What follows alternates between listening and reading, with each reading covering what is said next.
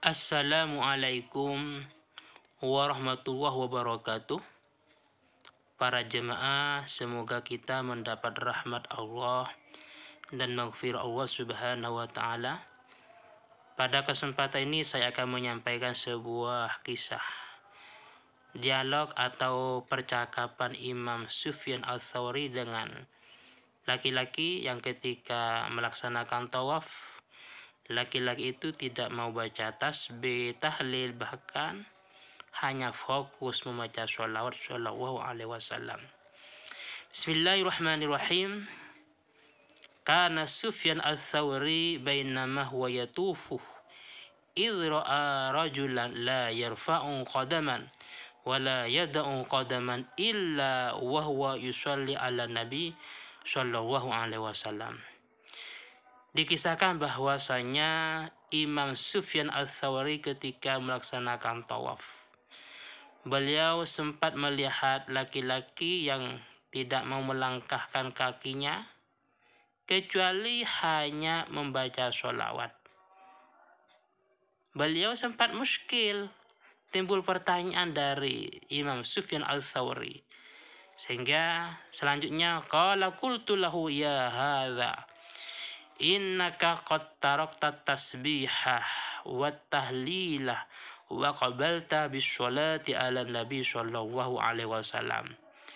Beliau Imam Sufyan al-Sawri sempat bertanya kepada laki-laki itu, Wahai saudaraku, barusan saya sempat melihat bahwasanya engkau tidak membaca tasbih, tidak membaca tahlil, cuman hanya fokus membaca sholawat kepada Nabi Muhammad Shallallahu Alaihi Wasallam. Itulah pertanyaan dari Imam Sufyan al-Thawri. Hal indaka fi hadha syai' apakah engkau punya hujjah punya alasan dalam hal ini? Kenapa tidak membaca tasbih? Kenapa tidak membaca tahlil? Uh, hanya fokus atau cuma membaca sholawat. Engkaulah. Sebelum menjawab pertanyaan Sufyan as-Sawri, laki-laki itu bertanya, Man anta siapa engkau? Karena kita nggak kenal, kenapa kok menanyakan dan menilai perbuatan orang lain? Siapa engkau? Afakallah, semoga Allah memberimu kesehatan. Fakultuh, nah ini Kemudian Imam Sufyan al-Thawri menjawab, Ana Sufyan al-Thawri. Saya adalah Sufyan al-Thawri. Kalah laki-laki itu berkata, Laula annaka gharibun min ahli zamanik. Seandainya bukan engkau yang bertanya, karena engkau adalah ulama yang paling masyhur di zaman ini. Seandainya bukan karena engkau, maka ma akhbartuka an hali? Saya tidak akan menyampaikan. Saya tidak akan memberitahumu an hali dalam tingkahku ini. Dalam keberadaanku ini kenapa saya kok membaca sholawat dan tidak membaca tasbih tahlil? Baru engkau yang nanya engkau adalah ulama yang terkenal di masa ini wala atla'tuka ala sirri dan juga saya tidak akan membuka rahasia ini. Ah, isi jawaban adalah laki-laki itu menyampaikan kisahnya. Bahwasanya summa qala li kharajtu kata Sufyan al-Thawri. Laki-laki itu berkata kepadaku, kharajtu saya keluar. Wa walidi bersama orang tuaku keluar dalam rangka hajan ila baitillahil haram dalam rangka melaksanakan ibadah haji. Hatta idza kuntu fi ba'dil manazil marada walidi. Cuman sayangnya ketika berada di sebuah tempat orang tuaku dalam kondisi sakit. Fakum tuh maka saya istirahat di tempat itu dengan tujuan liwa'alijahu dengan tujuan mengobati Fabainama anna dzata lailah inda ra'si idma tahwalidi waswada wajhu. Cuman sayangnya hal itu tidak tertolong. Orang tuaku meninggal dunia. yang mana pada waktu itu saya berada di sampingnya dan meninggalnya sangat menyedihkan yaitu waswaddah wajhuh wajahnya dalam keadaan gelap wajahnya wajah ayahku dalam keadaan buram dalam keadaan hitam. Fakultuh akhirnya mendengar jawaban dan kisah laki-laki itu. Uh, Imam Sufyan As-Sauri berkata inna lillahi wa inna ilaihi raji'un jadi kalau kita mendengar ada tetangga, saudara, orang lain meninggal, kita sangat dianjurkan untuk mengucapkan inna lillahi wa inna ilaihi raji'un. Karena meninggal ayahnya dalam kondisi seperti tadi yaitu wajahnya dalam keadaan gelap dalam keadaan hitam maka fajadzabatul izar ala wajhi kata laki-laki itu saya menarik sebuah kain ala wajhi fatau itu menarik dan saya taruh di atas wajahnya dengan tujuan biar tertutup biar tertutup karena ini kalau ada orang lain yang sempat melihat maka ini menjadi aib yang sangat besar Cuman faghalabatni aini fanimtu. Karena saya ngantuk, kecapean mungkin ngantuk akhirnya saya tertidur. Faizan ana birojulin. Pada waktu saya tidur saya melihat laki-laki. Saya bermimpi bertemu dengan laki-laki. Lam aru ahsan minhu. Yang laki-laki itu sangat tampan sehingga tidak ada yang tampan darinya. Lam ar ahsan min wajhan wajahnya sangat tampan, tidak ada yang lebihnya, tidak ada yang lebih tampan dari laki-laki itu. Wala audhafa minhu sauban. Dan pakaiannya lebih bersih. Tidak ada yang lebih bersih dari laki-laki itu pakaiannya. Wala audhiyaba min hurrihan dan tidak ada yang lebih harum baunya daripada laki-laki itu. Jadi tidak pernah ditemukan lebih harum daripada laki-laki itu. Selanjutnya yarfa'u qadaman wa yada'u ukhra.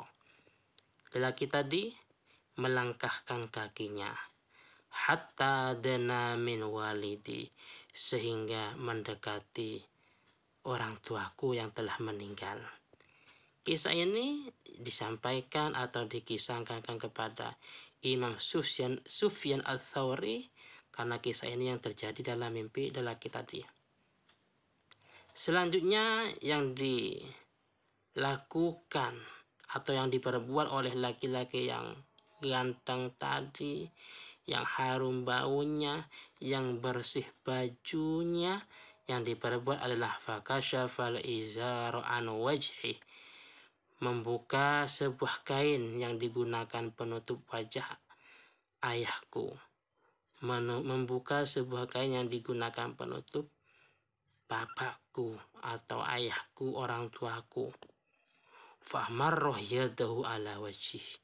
Dan laki-laki itu mengusap atau menggerakkan tangannya di atas wajah ayahku dengan izin Allah fabiyatuh langsung bercahaya langsung menjadi putih yang awalnya mati dalam keadaan gelap mati dalam keadaan hitam wajahnya tapi dengan sebab laki-laki tadi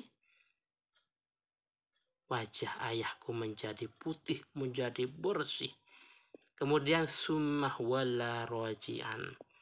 Laki-laki tadi berpaling dengan tujuan mau meninggalkan tempat itu. Fata'allaktu bisawbih. Fakultu ya abadallah. Kemudian saya menarik bajunya dan saya bertanya, Ya abadallah, wahai amba Allah, man anta? Kira-kira engkau itu siapa? alladzi manallahu ala walidi yang mana Allah Ta'ala telah menganugerahkan memberi engkau nikmat atas orang tuaku bikah dengan sebabmu fi ardil hurbah di tanah atau di daerah yang hurbah ini asing ini Kola laki-laki itu menjawab Au ma ta'rifuni? Apa kau memang nggak tahu? Apakah kau memang nggak kenal? Ana Muhammad bin Abdillah Syahibil Quran. Syahibul Quran. Saya ini Muhammad bin Abdullah yang menerima Al-Quran sebagai mu'ajizat. Amma inna walidak kana musrifan ala nafsi. Jadi sebenarnya kenapa ayahmu meninggal dalam kondisi seperti itu? Meninggal dalam kondisi wajahnya yang gelap, wajahnya yang hitam. Karena sebenarnya ayahmu itu selama hidup musrifan ala nafsi mengikuti ajakan hawa nafsunya. Walakin akan tetapi punya keistimewaan, punya kelebihan. Yaitu karena yuksiru sholata alayya. Ayahmu itu memperbanyak sholawat, memperbanyak membaca sholawat kepadaku. Falamma nazala bihi ma nazal istawa sabi wa anna ghayas liman aksara sholata alayya. Karena dia butuh pertolongan, maka saya menolonginya. Ini jawaban baginda Nabi karena laki-laki yang dilihat dalam mimpi ini adalah sebenarnya baginda Nabi menyampaikan kepada anak daripada uh, yang telah meninggal tadi. Jadi sebenarnya ayahmu itu selama hidupnya musrifah ala nafsi. Mengikuti ajakan hawa nafsu cuman dia sering atau banyak membaca sholat kepadaku. Dan hari ini dia butuh pertolongan maka saya menolonginya. Fantabahtu faida wajhu abi abjad. Setelah itu saya langsung bangun dan memang kenyataan wajah orang tuaku langsung putih dan bersih. Para jemaah yang dirahmati Allah, mungkin ini yang bisa saya sampaikan. Semoga manfaat dan berkah sehingga kita benar-benar menjadi umat Nabi Muhammad SAW yang merindukan beliau, yang mengharap syafaat beliau dengan cara memperbanyak sholawat kepada Nabi Muhammad SAW.